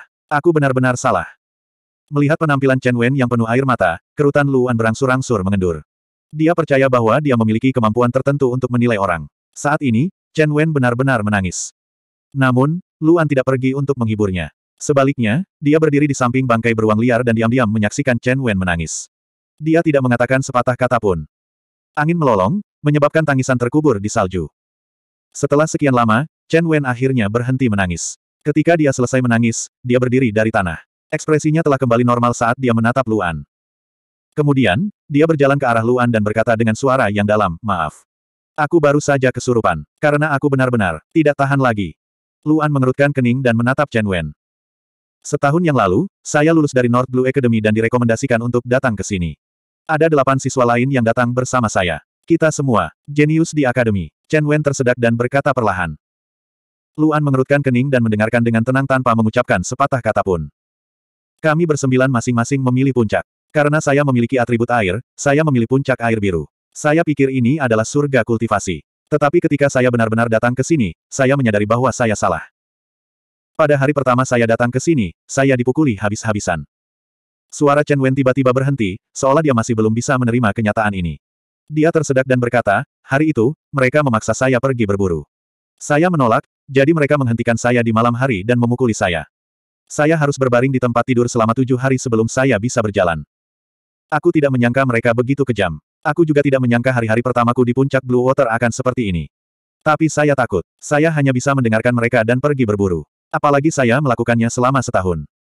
Selama tahun ini, saya tidak tahu berapa banyak kesulitan yang saya derita. Saya tidak tahu berapa kali saya dipukuli. Setiap kali saya dipukuli, saya harus berbaring di tempat tidur selama beberapa hari. Berbaring di tempat tidur sudah setengah bulan, saat itu, saya pikir saya akan mati. Saya tidak hanya harus pergi berburu, tetapi saya juga harus menanam sayuran dan menjalankan tugas. Jika saya tidak cukup berburu, saya akan dipukuli. Jika saya tidak melakukan pekerjaan saya dengan baik, saya akan dipukuli. Bahkan jika saya mengatakan sesuatu yang salah, saya akan dipukuli. Aku benar-benar. Pada titik ini, Chen Wen akhirnya tidak bisa menahannya. Matanya menjadi merah lagi. Luan mengerutkan kening dan menatap Chen Wen. Dia masih tidak berbicara. Musim dingin adalah waktu yang paling sulit. Terlalu dingin untuk menanam sayuran, jadi saya hanya bisa mengandalkan berburu makanan. Tapi musim dingin sangat dingin, dan semua hewan mencari tempat untuk bersembunyi. Di mana saya dapat menemukan begitu banyak makanan untuk dimakan. Sekarang, setiap beberapa hari, saya akan dipukuli dan dipermalukan oleh mereka. Saya pernah menolak, tetapi saya bukan tandingan mereka. Pada akhirnya, saya hanya akan berakhir lebih buruk. Jalan di depan akan lebih menyiksa. Saya sangat takut. Saya terlalu takut bahwa saya tidak akan dapat menemukan mangsa yang cukup. Saat ini, saya tidak ingin berkultivasi sama sekali. Saya hanya ingin dipukuli lebih sedikit dan dapat terus tinggal di sini. Cukup. Jadi, Chen Wen memandang Luan dan berkata dengan getir, baru saja, setelah melihat beruang liar sebesar itu, aku terobsesi dan melakukan sesuatu yang belum pernah kulakukan sebelumnya. Ini benar-benar pertama kalinya saya membuat kesalahan seperti itu. Aku benar-benar belum pernah melakukannya sebelumnya. Chen Wen memandang Luan dengan penuh harap, seolah-olah dia mengharapkan pihak lain untuk bersimpati dengan pengalamannya dan memahaminya. Namun, dia kecewa. Jadi, suara Luan sangat dingin. Dia berkata dengan suara yang dalam, inilah alasan mengapa kamu mencuri barang-barangku dan menjebakku. Tidak, ini salahku, Chen Wen panik dan dengan cepat melambaikan tangannya. Melihat penyangkalan Chen Wen, mata Luan terasa dingin. Dia menunjuk ke beruang liar di tanah dan berkata, aku memberimu setengah dari beruang itu sebagai penjelasan kepada ayahmu. Di masa depan, kita tidak akan ada hubungannya satu sama lain. Dengan itu, Luan sekali lagi meraih tubuh beruang di sampingnya dan berbalik untuk berjalan kembali. Chen Wen tertegun. Dia tidak tahu apa yang dia katakan salah karena dia jelas merasa bahwa Luan lebih dingin dari sebelumnya. Saat Chen Wen berdiri di sana dan tidak tahu harus berkata apa, Luan, yang sedang berjalan di depan, tiba-tiba berhenti. Chen Wen sangat gembira. Dia berpikir bahwa segala sesuatunya telah berubah menjadi lebih baik dan pihak lain memahaminya. Namun, Luan bahkan tidak menoleh. Dia baru saja membuka mulutnya dan mengucapkan satu kalimat terakhir. Ayahmu memintaku untuk memberitahumu bahwa ibumu merindukanmu. Mendengar ini, seluruh tubuh Chen Wen bergetar. Butir-butir besar air mata jatuh dari matanya. Seluruh tubuhnya gemetar saat dia berlutut di tanah dan menangis dengan keras. Luan mengabaikannya dan menghilang ke dalam salju hitam. 178. Bulan gelap dan angin bertiup kencang. Hutan sangat gelap sehingga sulit untuk berjalan. Dalam perjalanan pulang, Luan menemukan Liu Hongchang dan meminta untuk kembali lebih awal. Liu Hongchang juga tahu bahwa dia memiliki mangsa yang cukup, jadi dia setuju. Sepanjang jalan, alis Luan tidak pernah rileks. Hanya ketika dia duduk di kursi dia merasa sedikit lebih baik. Alasan dia dalam suasana hati yang buruk tidak lain adalah Chen Wen. Meskipun sudah sebulan, dia tidak pernah melupakan apa yang guru pertama minta dia lakukan. Itu sebabnya ketika Liu Hongchang menyebut nama Chen Wen, dia kaget dan langsung berhenti. Namun, dia benar-benar tidak menyangka Chen Wen menjadi orang seperti itu. Memang, apa yang dikatakan Chen Wen kepadanya tulus, dan kemungkinan besar setiap kata itu benar. Namun, ini bukanlah alasan bagi Luan untuk memaafkannya. Alasannya sederhana, karena ini sama sekali bukan alasan. Dipukuli, tersiksa, dipermalukan. Budak mana yang tidak menderita setiap hari? Itu hanya kata-kata, hanya pukulan dan tendangan. Namun, penghinaan dan siksaan yang dialami para budak adalah sesuatu yang tidak dapat dia bayangkan. Segala macam metode penyiksaan yang aneh, sangat menyakitkan hingga mereka ingin mati. Dibandingkan dengan ini, apa itu penghinaan? Luan mengerti bahwa orang yang berbeda menerima perlakuan yang berbeda. Jika kata-kata Chen Wen didengar oleh orang lain, meskipun mereka tahu bahwa dia salah, mereka akan merasa bahwa itu dapat dimaafkan dan dapat dimengerti. Namun, jika seorang budak melawan, siapa yang akan bersimpati dan mengerti? Perlawanan hanyalah jalan menuju kematian. Inilah alasan mengapa Luan sangat marah. Karena status mereka yang berbeda, hal-hal yang mereka lakukan dan perlakuan yang mereka terima seperti langit dan bumi.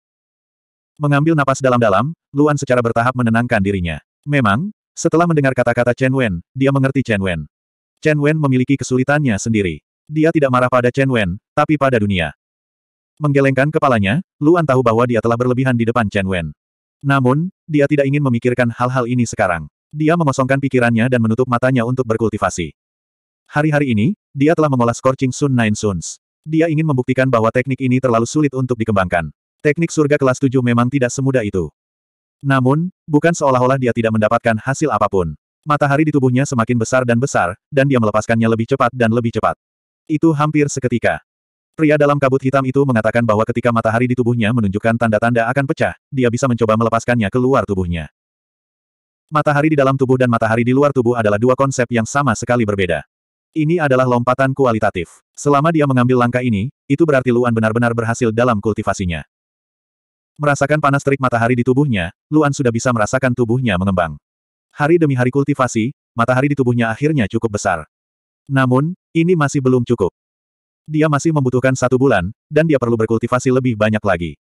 Dia hanya membutuhkan sekejap untuk membentuk matahari besar di tubuhnya. Setelah berkultivasi begitu lama, dia tidak ingin menjadi tidak sabar di saat-saat terakhir. Kalau tidak, satu langkah salah dan dia mungkin kehilangan kesempatan terbaik untuk menerobos.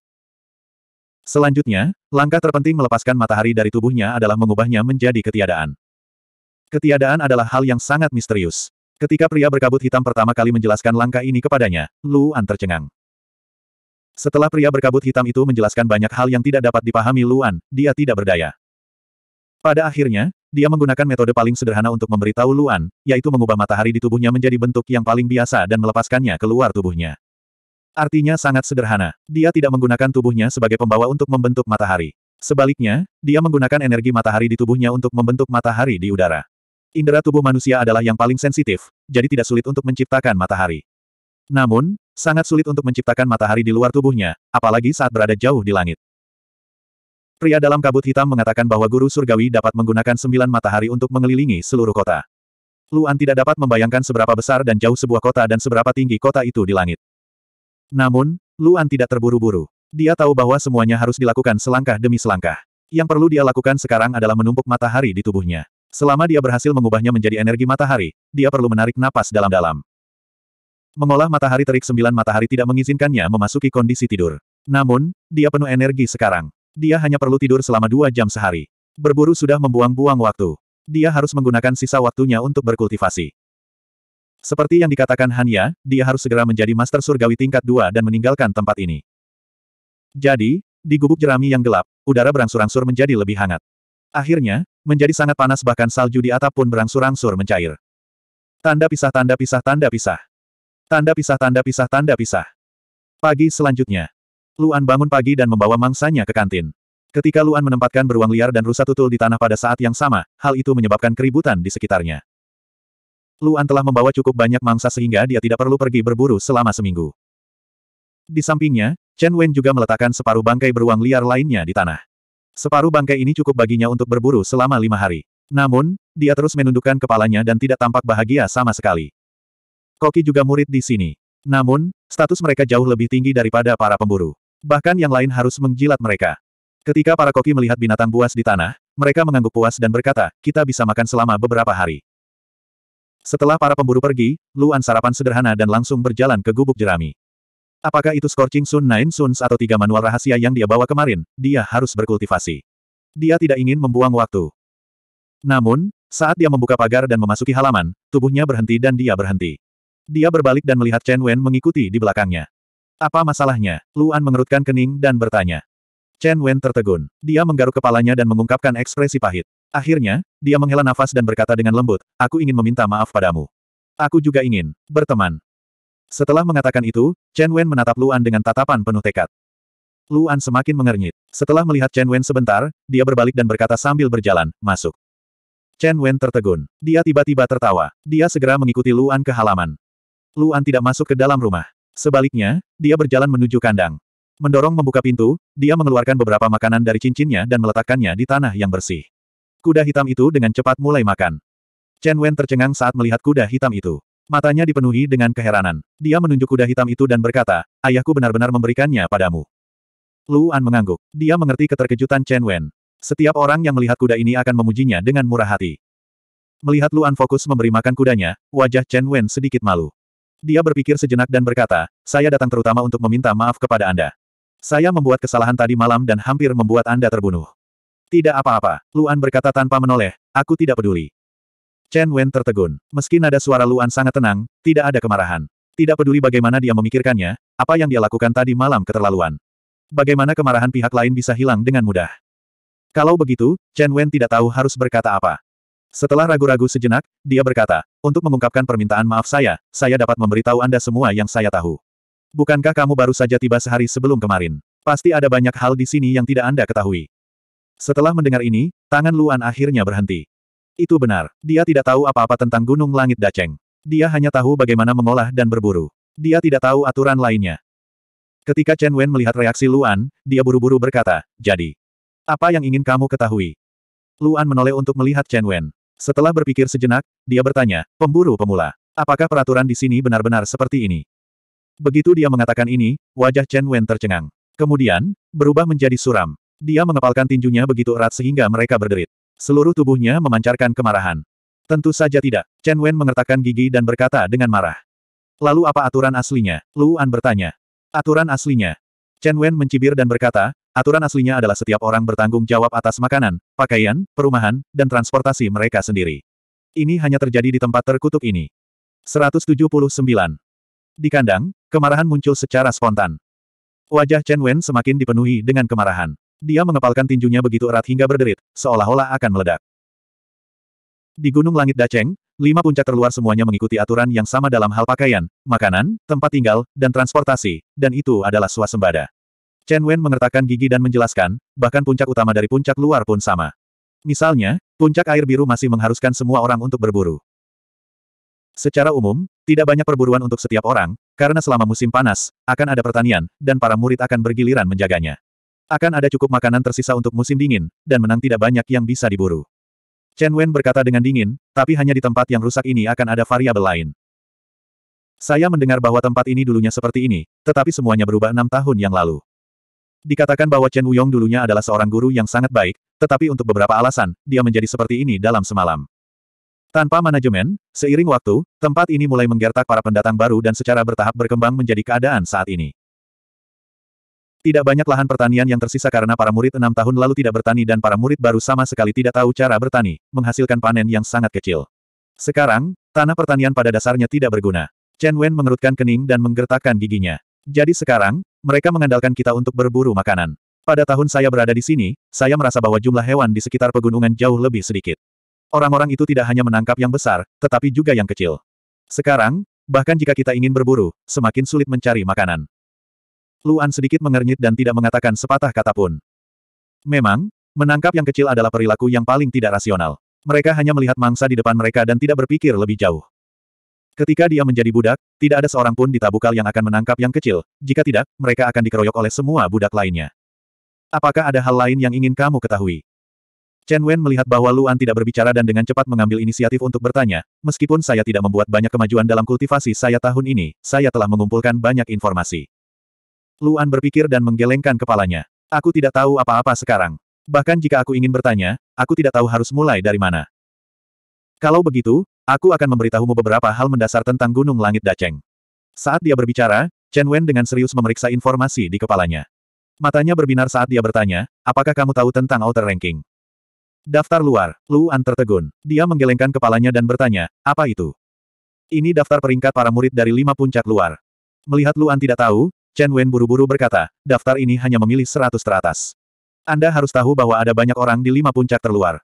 Puncak air biru memiliki setidaknya 350 orang, dan totalnya jumlah orang di lima puncak terluar lebih dari 2000. Sangat sulit untuk masuk ke daftar ini. Tidak ada satupun dari seratus teratas yang bukan guru surgawi level 2, dan mereka semua adalah murid yang sangat menarik perhatian.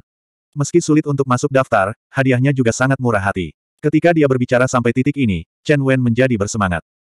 Matanya memancarkan sinar kecemburuan saat dia berkata, mereka yang masuk peringkat akan dapat memperoleh lebih banyak sumber daya, seperti pil obat, manual rahasia, dan bahkan senjata. Hal-hal ini sangat langka. Seni surgawi semuanya level 3, pil obat setidaknya level 2, dan senjatanya level 1. Namun, jika peringkatmu sangat tinggi, kemungkinan besar kamu akan diberikan senjata level 2. Mendengar ini, mata Luan menyipit. Dia tidak peduli tentang seni surgawi level 3 dan pil obat level 2, tetapi senjata adalah yang paling dia pedulikan. Meskipun dia hanya alkemis level 1, keterampilan alkimianya dapat dianggap sebagai pemula, dan dia dapat berkultivasi sendiri. Namun, meskipun dia telah membaca beberapa buku tentang pembuatan senjata, dia tidak pernah benar-benar mempraktikkannya. Namun, Orang-orang dalam daftar semuanya adalah Master Surgawi level 2, dan dia saat ini tidak dapat bertarung melawan Master Surgawi level 2. Jika ada daftar luar, maka ada daftar dalam. Daftar dalam dibuat khusus untuk puncak dalam. Chen Wen melanjutkan, ada sekitar 200 murid di puncak dalam, dan hanya 20 teratas yang dipilih. Ini karena sumber daya di puncak dalam sudah sangat bagus, dan 20 teratas dipilih untuk memberikan perawatan terbaik kepada para jenius sejati. Puncak batin. Luan mengerutkan kening. Dia mengambil napas ringan dan menggelengkan kepalanya sedikit. Tempat itu terlalu jauh darinya, dan dia tidak akan mempertimbangkannya untuk saat ini. Chen Wen tertegun. Tiba-tiba, dia teringat sesuatu dan dengan cepat berkata, Oh benar, saya telah membaca sebagian besar buku di penyimpanan sutra. Saya tahu mana yang merupakan seni surgawi tingkat dua. Bagaimana kalau saya membawa Anda ke sana? Luan tertegun. Dia memikirkannya dan menggelengkan kepalanya. Aku sudah memilih tiga buku. Mari kita bicarakan setelah selesai latihan. Chen Wen sedikit malu. Dia menggaruk kepalanya dan berdiri di sana, tidak tahu harus berkata apa. Saat ini, Luan telah selesai memberi makan kudanya. Dia berbalik menghadap Chen Wen. Melihat ekspresi konflik yang terakhir, dia menarik napas ringan dan berkata dengan tenang, jangan khawatir, aku tidak marah sama sekali. Chen Wen tertegun. Dia segera tersenyum bahagia dan berkata, bagus kalau kamu tidak marah. Sebenarnya, aku tahu kamu adalah orang yang baik saat kamu memberiku setengah beruang itu kemarin. Luan tersenyum. Dia memikirkannya dan bertanya, dulu ada tanah pertanian di sini, kan? Iya, Chen Wen tertegun. Dia tidak tahu mengapa Luan tiba-tiba menanyakan hal ini, tetapi dia segera berkata, hanya saja tidak ada yang bertani selama dua tahun terakhir, jadi benar-benar ditinggalkan. Tidak apa-apa, Luan berkata, apakah kamu tahu di mana itu? Bawa aku ke sana. Chen Wen memandang Luan dengan kaget dan bertanya, kamu ingin menanam sayuran? Iya, Luan tersenyum dan berkata, menanam sayuran lebih baik daripada berburu. Saya tidak perlu mengkhawatirkannya setiap hari, dan saya tidak harus keluar setiap malam. Kamu tahu cara menanam sayuran. Chen Wen bertanya dengan tidak percaya. Bahkan jika kamu tahu cara menanam sayuran, sekarang musim dingin. Ada sayuran yang bisa ditanam di musim dingin. Kata Luan, jika dia tidak bisa menanam sayuran di musim dingin, dia akan mati kelaparan. Wajah Chen Wen berangsur-angsur berubah dari kaget menjadi gembira. Dia bertepuk tangan dan berkata dengan keras, ayo pergi. Aku akan membawamu ke sana sekarang. Tanda pisah tanda pisah tanda pisah. Tanda pisah tanda pisah. Tiga mil timur Laut Gubuk Jerami adalah tanah datar di kaki gunung. Di tengah tanah datar ada ruang terbuka yang luas tanpa pohon. Ruang terbuka itu tertutup lapisan salju tebal. Luan berdiri di depan ruang terbuka dan sedikit mengernyit. Dia melihat sekeliling dan menemukan bahwa ruang terbuka seluas 10 hektar. Itu lebih dari cukup untuk memberi makan 40 orang. Belum lagi musim dingin, bahkan makanan untuk tahun depan bisa dipesan banyak. Dengan ruang terbuka yang begitu luas, mereka harus mengandalkan berburu untuk bertahan hidup. Luan mencibir di dalam hatinya. Orang-orang ini benar-benar malas. Luan berjalan ke ruang terbuka, membungkuk, dan mendorong salju tebal ke samping. Segera dia melihat tanah. Dia menyentuhnya dengan tangannya. Tanahnya sangat keras. Tanah sudah lama tidak dibajak. Tidak hanya itu, musim dingin telah membekukan tanah seperti es. Ayo bertani. Luan bangkit dan berkata kepada Chen Wen di belakangnya, mari kita tanam dulu yang mudah tumbuh, lalu tanam yang lain. Paling lama sebulan, kita tidak perlu pergi berburu lagi. Chen Wen tertegun. Dia memandang Luan dan bertanya, bisakah kamu benar-benar menanam sayuran di musim dingin? Setiap petani bisa. Luan memandang Chen Wen dan berkata dengan tenang, sekarang kita harus membersihkan salju di sini dan kemudian membakar tanah. Apakah kamu mengerti? Chen Wen menatap Luan. Dia tidak tahu mengapa, tetapi dia sangat mempercayai pemuda ini. Keyakinan yang kuat tiba-tiba muncul di hatinya. Dia berkata dengan bersemangat, oke, ayo mulai bekerja. Dengan itu, Luan dan Chen Wen datang ke dua sisi ruang terbuka. Mereka menggunakan kekuatan mereka sendiri untuk membersihkan salju dan kemudian membakar tanah dengan api. Namun, ketika keduanya menggunakan api mereka, Chen Wen menyadari ada sesuatu yang salah. Nyala apinya bisa menyala di tanah selama maksimal 10 napas sebelum padam. Dia perlu membakarnya berulang kali. Namun, Luan berbeda. Api Luan bisa menyala terus-menerus di tanah. Tanah yang sekeras batu meleleh di bawah api dalam sekejap. Itu bahkan dibakar sampai garing. Luan juga menyadari hal ini dengan sangat cepat. Karena itu, dia tidak terus melepaskan api ke tanah. Sebaliknya, dia menggunakan apinya untuk membakar tanah dengan cepat dan kemudian menariknya kembali. Segera, tanah itu benar-benar terbakar oleh nyala api Luan yang kuat. Kemudian, keduanya memperbaiki tanah. Mereka bekerja dari pagi hingga sore sebelum tanah benar-benar diperbaharui. Luan berdiri di pinggir. Dia terengah-engah setelah bekerja selama sehari. Namun, dia tetap tersenyum ketika melihat hasil yang kaya dari kerja sehari. Di masa lalu, dibutuhkan lebih dari sepuluh budak dalam dua hari untuk memperbarui sebidang tanah yang begitu luas. Memang, semuanya berbeda setelah menjadi guru surgawi. Setelah menarik napas dalam-dalam, Luan berangsur-angsur menjadi tenang. Dengan tempat ini, hari-harinya di Gunung Langit Daceng akan jauh lebih baik. 180. Sebulan kemudian.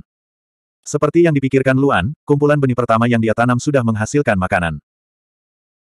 Padahal, ada banyak sayuran yang bisa ditanam di musim dingin, seperti selada, sawi, selada, wortel, dan lain sebagainya. Beberapa sayuran hanya bisa ditanam di musim dingin, tetapi orang-orang di sini sepertinya belum pernah menanam sayuran sebelumnya, jadi mereka mengira menanam sayuran hanya bisa dilakukan di musim semi. Ketika Luan meletakkan kumpulan sayuran pertama di depan semua orang, itu menyebabkan kehebohan. Sejujurnya, binatang buas di sini bukanlah sapi, domba, atau babi. Daging mereka sangat keras dan tidak enak sama sekali. Orang-orang di sini tidak makan sayur biasa selama dua atau tiga tahun. Ketika mereka melihat sayuran, mereka ngiler lebih banyak daripada ketika mereka melihat dagingnya. Sejak hari itu, Luan dan Chen Wen tidak lagi harus berburu larut malam. Keduanya hanya harus bertanggung jawab untuk menanam sayuran. Anggota tim pemburu lainnya juga diuntungkan karena hal ini. Karena sayuran, makanan yang mereka butuhkan untuk berburu sangat berkurang. Beberapa orang bahkan berinisiatif untuk membantu di ladang. Setelah semua orang bisa makan sayur setiap hari, sikap mereka terhadap Luan menjadi sangat bersahabat. Lagi pula, dialah satu-satunya yang bisa menanam sayuran di musim dingin. Banyak orang bahkan berinisiatif untuk bertanya kepada Luan apakah dia membutuhkan sesuatu. Bahkan orang-orang yang menentang Luan pada awalnya tidak lagi menemukan masalah dengannya. Untuk sementara waktu, status Luan sangat tinggi. Namun, meski situasinya telah berubah, Luan tidak. Dia masih jarang muncul di depan orang. Selain sesekali pergi ke pavilion kitab suci, dia menghabiskan sebagian besar waktunya di rumah dan di ladang. Bahkan Chen Wen jarang melihatnya kecuali saat sedang bertani. Dia tidak pernah mengendur dalam kultivasinya. Bahkan, dia bekerja lebih keras dari sebelumnya. Luan sangat merasa bahwa kultivasinya telah tertunda terlalu lama karena berlari untuk hidupnya dan terus-menerus terburu-buru. Oleh karena itu, ia harus bekerja lebih keras lagi untuk menebus waktu yang terbuang percuma. Larut malam, bulan yang cerah menggantung tinggi di langit. Saat itu sudah tengah malam, tapi Luan masih terjaga. Atau lebih tepatnya, dia tidak pernah tidur sepagi ini sebelumnya. Matanya tertutup rapat saat dia duduk bersila di tempat tidur. Tubuhnya memancarkan cahaya merah menyala. Setelah sebulan berkultivasi, sembilan matahari terik di tubuhnya cukup kuat. Saat ini, dia hanya membutuhkan sesaat untuk membentuk matahari di tubuhnya, dan matahari ini membuatnya merasa sangat kembung. Di alam tidur, Luan duduk bersila di ruang gelap. Pria berkabut hitam itu berdiri di depannya. Dia memandang Luan, yang bersinar, dan mengangguk puas. Baru tiga bulan sejak dia mulai mengajar Luan Scorching Sun Nine Suns. Untuk dapat mengolah matahari terik sembilan matahari ke tingkat seperti itu hanya dalam waktu tiga bulan bukanlah sesuatu yang dapat dicapai melalui kerja keras. Nyatanya, bisa mengolah matahari terik sembilan matahari bukanlah sesuatu yang bisa dicapai melalui kerja keras. Pemuda ini memang sangat berbakat, dan dia juga pekerja keras dari siapa pun yang pernah dia temui. Dia telah menyaksikan pertumbuhan Luan dengan matanya sendiri dan tahu bahwa peningkatan Luan lebih dari orang lain. Cukup. Orang dalam kabut hitam tiba-tiba berbicara, suaranya bergema di ruang gelap. Tubuh Luan bergetar saat mendengar ini. Dia menghela nafas dan perlahan membuka matanya. Dia memandang orang dalam kabut hitam dan berkata, Tuan. Ada cukup energi di tubuhmu. Kamu bisa melanjutkan ke langkah selanjutnya. Orang dalam kabut hitam berkata, bubarkan matahari di tubuhmu menjadi kehampaan dan lepaskan di luar tubuhmu. Kemudian, bentuklah matahari di luar tubuhmu. Luan mengerutkan kening ketika mendengar ini dan mengangguk dengan sungguh-sungguh. Setelah itu, Luan meninggalkan ruang gelap. Dia membuka matanya di gubuk jerami, dan matanya sangat cerah. Setelah menarik napas dalam-dalam, Luan menutup matanya lagi. Dia mengerutkan kening dan matahari dengan cepat terbit di tubuhnya. Dia tahu bahwa malam ini adalah langkah yang paling penting apakah Scorching Sun Nine Suns bisa berhasil. Langkah pertama adalah menguraikan matahari di tubuhnya. Selama ini, dia berlatih dalam bentuk matahari. Membusuk itu adalah usaha pertamanya. Dia tahu bahwa hal yang paling sulit adalah mempertahankan energi matahari yang membusuk. Ini karena energi setelah membusuk mungkin bukan lagi matahari. Luan mengerutkan kening dan mengepalkan tinjunya. Dia mulai membusuk matahari menggantung tinggi di tubuhnya. Di tubuh Luan, matahari yang menggantung tinggi di langit berguncang hebat. Itu bergetar pada frekuensi dan amplitudo yang menakutkan, seolah-olah akan meledak kapan saja. Bersamaan dengan getaran itu, tubuh Luan juga menjadi sangat gelisah. Meridian, darah, otot, dan tulangnya juga mulai bergetar. Tubuhnya menjadi merah. Keringat langsung mengalir dan membasahi pakaian Luan. Suhu di dalam ruangan tiba-tiba naik, seolah-olah itu adalah kapal uap. Pada saat yang sama, matahari di tubuhnya akhirnya mulai membusuk setelah getaran. Mulai dari ujung matahari, mulai terurai sedikit demi sedikit seperti pecahan porselen. Namun, Luan sangat berhati-hati. Dia menguraikannya sedikit demi sedikit, tidak berani bertindak gegabah. Namun, Luan segera mengerutkan kening. Dia bisa merasakan bahwa energi yang terurai dari matahari langsung menghilang. Setelah dipisahkan, itu tidak bisa dikendalikan sama sekali. Itu benar-benar membuang-buang energi. Luan mengerutkan kening dan mengertakkan gigi untuk memperlambat kecepatannya. Dalam sekejap, waktu terasa mandek di tubuhnya dan semuanya melambat. Kecepatan dekomposisi matahari juga melambat. Potongan-potongan kecil perlahan terkelupas dari matahari. Vena muncul di wajah Luan saat dia menggunakan seluruh kekuatannya untuk mengontrol konversi energi dari potongan-potongan itu. Potongan-potongan kecil itu berangsur-angsur berubah menjadi kabut merah di udara. Meski mereka telah meninggalkan matahari, Luan masih bisa merasakan keberadaan mereka. Dia bahkan sepertinya bisa mengendalikan mereka. Luan langsung senang. Namun, pada saat ini, wajahnya tiba-tiba memerah dan dia memuntahkan seteguk darah tanpa peringatan. Uh! Luan langsung membuka matanya dan melihat darahnya berceceran di lantai. Batuk, batuk, batuk. Luan terbatuk hebat dan baru berhenti setelah beberapa saat. Jika seseorang bisa menyentuh kulitnya, mereka akan merasa sepanas besi panas. Keringat di wajahnya menguap dalam sekejap. Bahkan dia sendiri merasa sangat panas. Karena momen kebahagiaan itu, dia sedikit kehilangan kendali atas matahari. Dan hal kecil inilah yang menyebabkan matahari di tubuhnya meledak sepenuhnya. Sejumlah besar energi menyapu tubuhnya, langsung melebihi batas dari apa yang bisa dia tahan. Untungnya, dia telah mencoba yang terbaik untuk mengurangi kerusakannya, jika tidak, dia akan terluka parah. Setelah beristirahat selama sebatang dupa, Luan merasakan energi di tubuhnya menjadi tenang. Dia mengambil napas dalam-dalam dan menutup matanya sekali lagi. Seketika, matahari terbit di tubuhnya. Luan mengerutkan kening. Dia perlahan-lahan membiarkan matahari terurai sedikit demi sedikit, mengendalikan energi penguraian. Kali ini, dia sangat berhati-hati. Dia tidak berani terganggu oleh sedikit kesuksesan ini. Jika hal seperti itu terjadi beberapa kali lagi, bahkan tubuhnya tidak akan mampu menahannya. Tepi matahari perlahan membusuk. Setelah seperempat jam, kurang dari sepersepuluh matahari telah membusuk. Namun, Luan tidak khawatir. Sebaliknya, dia menjadi semakin percaya diri. Ini karena dia bisa mengendalikan lebih dari setengah energi yang terurai. Waktu perlahan berlalu, suhu di gubuk jerami naik semakin tinggi. Bahkan udara di luar gubuk jerami berangsur-angsur menghangat. Luan mengertakkan gigi dan terus membiarkan matahari di tubuhnya terurai sedikit demi sedikit. Namun, setelah seperempat jam, dia memuntahkan seteguk darah lagi. Darah berceceran di seluruh lantai. Darah dari waktu sebelumnya belum mengering. Luan memandangi darah di lantai dengan lemah, tetapi matanya bahkan lebih bertekad. Kegagalan kali ini adalah karena terlalu banyak energi dalam fragmen yang membusuk. Dia perlu terlalu banyak teralihkan untuk mengendalikan mereka, dan dia juga harus mengendalikan kecepatan dekomposisi. Ini menyebabkan kecepatan dekomposisi matahari tiba-tiba meningkat, mengakibatkan ledakan. Namun, setelah kegagalan tersebut, Luan sangat senang. Ini karena hasil kali ini jauh lebih baik dari waktu sebelumnya. Tidak peduli berapa banyak darah yang dia keluarkan, selama dia berhasil, itu sangat berharga. Oleh karena itu, setelah satu jam, Luan memuntahkan seteguk darah lagi. Jumlah darah kali ini bisa dikatakan jumlah dari dua kali sebelumnya. Jika Luan tidak bereaksi tepat waktu, dia hampir jatuh dari tempat tidur. Setelah muntah darah tiga kali, dia akhirnya tidak tahan lagi. Namun, Luan tidak menyerah. Dia mengeluarkan pil empat rasa ganda dari cincinnya dan dengan cepat mengisi kembali darah dan kinya. Setelah meminumnya selama satu jam, Luan merasakan darah dan ki di tubuhnya terisi kembali. Dia telah menyiapkan banyak pil untuk hari ini. Dia ingin berhasil dalam sekali jalan. Jika hal semacam ini ditunda terlalu lama, tidak hanya akan merusak tubuh, tetapi juga mudah melupakan perasaan pembusukan sebelumnya. Oleh karena itu, perjalanan muntah darah Luan secara resmi dimulai.